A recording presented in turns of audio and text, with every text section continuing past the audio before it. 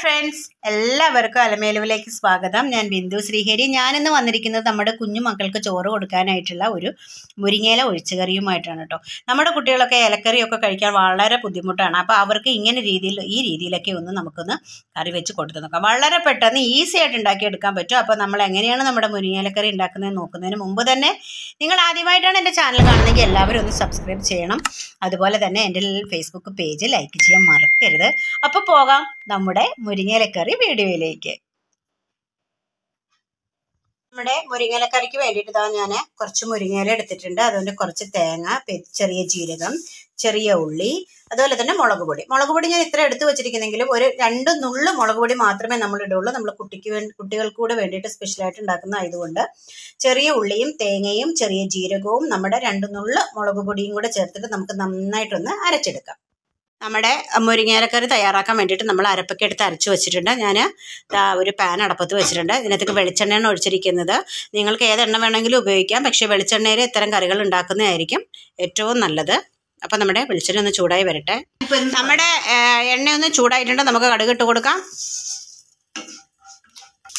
നമ്മുടെ കടുകൊക്കെ നന്നായിട്ട് പൊട്ടി വന്നിട്ടുണ്ട്. ഇതിലേക്ക് നമ്മൾ ചെറിയ ഉള്ളിയും വറ്റൽമുളകും കൂടി ഇട്ട് കൊടുക്കാം കേട്ടോ.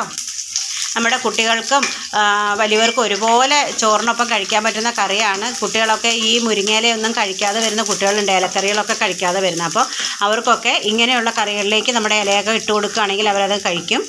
അപ്പോൾ കുട്ടികളെ ചോറ് കൊടുക്കാൻ ടേസ്റ്റാണ് കേട്ടോ. അതുപോലെ തന്നെ ഞാൻ പറഞ്ഞതുപോലെ തന്നെ മുളക് വളരെ കുറച്ച് ഉപയോഗിച്ചാൽ മതി. അല്ലല്ല കുറച്ച് മുളക് കൂട്ടും കഴിക്കും എന്നൊക്കെ ഉള്ള കുട്ടികളാണെന്നുണ്ടെങ്കിൽ ഒരു പച്ചമുളക് കൂടി നിങ്ങൾക്ക് കറി ചേർക്കുന്ന സമയത്ത് ഉപയോഗിക്കാം. ഒരു രണ്ട് നുള്ള് ചുമന്ന മുളക് മാത്രം മുളക് പൊടി മാത്രമേ ഞാൻ ഉപയോഗിച്ചിട്ടുള്ളൂ.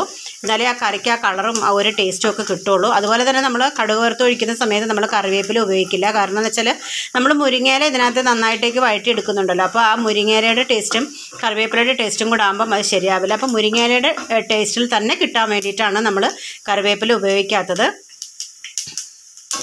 അപ്പോൾ നമ്മുടെ ഉള്ളിയും മുളകും ഒക്കെ ഒന്ന് ശരിയായി വന്നിട്ടുണ്ട്. ഇനി നമുക്ക് ഇതിലേക്ക് നമ്മുടെ മുരിങ്ങയില ഇട്ട് കൊടുക്കുകയാണ് കേട്ടോ.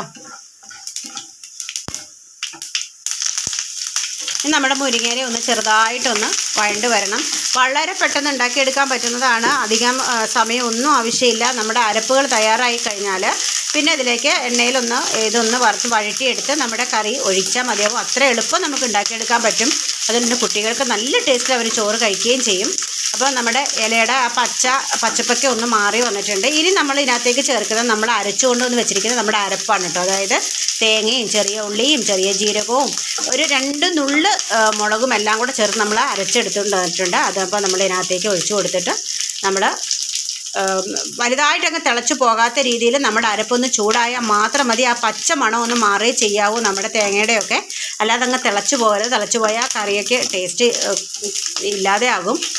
അപ്പോൾ നമ്മുടെ ഇലയൊക്കെ ഒന്ന് ശരിയായി വരട്ടെ. നമ്മുടെ മുരിങ്ങയില നന്നായിട്ട് വഴണ്ട് ശരിയായി വന്നിട്ടുണ്ട്. ഇനി നമ്മൾ അതിനകത്തേക്ക് ചേർക്കുന്നത് നമ്മുടെ അരപ്പാണ് കേട്ടോ. വേണ്ട നമ്മൾ ആ ചെറിയ ചെറിയ അളവിൽ നമ്മൾ മുളക് പൊടി ചേർക്കുമ്പോൾ വെള്ള കളറും അല്ല എന്നാലത് ആ മുളകിന്റെ അരച്ചിട്ട കളറും അല്ലാത്ത രീതിയിലാണ് വരിക അപ്പം ഇതുപോലെ ചേർത്തെടുക്കുക. ഒരുപാടങ്ങ് വെള്ളമായി പോകണ്ട. എന്നാലും ഒന്ന് ചെറുതായിട്ട് നമ്മുടെ ചോറിലൊക്കെ ഒന്ന് ഒഴിക്കത്തക്കവണ്ണം ഉള്ള രീതിയിൽ നീക്കെടുക്കാം ദാ ഇത് കണ്ടോ? നമ്മുടെ ടേസ്റ്റി ആയിട്ടുള്ള നമ്മുടെ മുരിങ്ങയിലക്കറി തയ്യാറായിട്ടുണ്ട് കേട്ടോ. നമ്മളിത് പ്രധാനമായും നമ്മുടെ കുഞ്ഞുങ്ങൾക്ക് ചോറ് കൊടുക്കാൻ വേണ്ടിയിട്ടാണ് തയ്യാറാക്കുന്നത്. വലിയവർക്കും കഴിക്കാവുന്നതാണ്. സൂപ്പർ ടേസ്റ്റുള്ള ഒരു കറിയാണ്. അപ്പോൾ എല്ലാവരും ഇതൊന്ന് ട്രൈ ചെയ്ത് നോക്കണം. അപ്പോൾ ഇതുവരെ നമ്മൾ നമ്മുടെ കറിക്ക് ഉപ്പ് ചേർത്തിട്ടില്ല. ഇപ്പോഴാണ് ഉപ്പ് ചേർക്കേണ്ടത്. അപ്പോൾ നമുക്ക് കറിക്ക് ആവശ്യമായിട്ടുള്ള ഉപ്പും കൂടി ചേർത്ത് കൊടുക്കാം.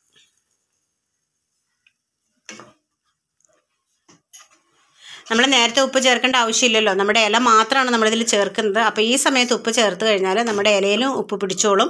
നമ്മുടെ കറിക്കും നമുക്ക് നല്ല ഉപ്പുണ്ടാവും. അപ്പോൾ ആവശ്യത്തിന് വെള്ളം ചേർക്കാം. ഇത്രയും തന്നെ മതിയെങ്കിൽ ഇത്രയും മതി. അതല്ല കുറച്ചും കൂടി ലൂസായിട്ട് ഇരിക്കണം എന്നുള്ളവർക്ക് കുറച്ചും കൂടി ലൂസാക്കിയും എടുക്കാം. അപ്പോൾ നമ്മുടെ സൂപ്പർ ടേസ്റ്റിലുള്ള നമ്മുടെ മുരിങ്ങയിലക്കറി തയ്യാറായിട്ടുണ്ട്. അപ്പോൾ എല്ലാവരും ഇതൊന്ന് ട്രൈ ചെയ്ത് നോക്കുക. അപ്പോൾ കുട്ടികൾക്ക് കൊടുക്കാനായിട്ട് സ്പെഷ്യലായിട്ട് നിങ്ങൾക്ക് പെട്ടെന്ന് ഉണ്ടാക്കി കുഞ്ഞുങ്ങൾക്ക് കൊടുക്കാൻ പറ്റും. അപ്പോൾ എല്ലാവരും ഇത് ഉണ്ടാക്കി നോക്കുമെന്ന് ഞാൻ പ്രതീക്ഷിക്കുന്നു. അപ്പോൾ നല്ല നല്ല വീഡിയോസുമായി നമുക്ക് വീണ്ടും കാണാം. നിങ്ങളെല്ലാവരും എന്റെ ചാനൽ ഒന്ന് സബ്സ്ക്രൈബ് ചെയ്യണേ. അപ്പോൾ ബായ്.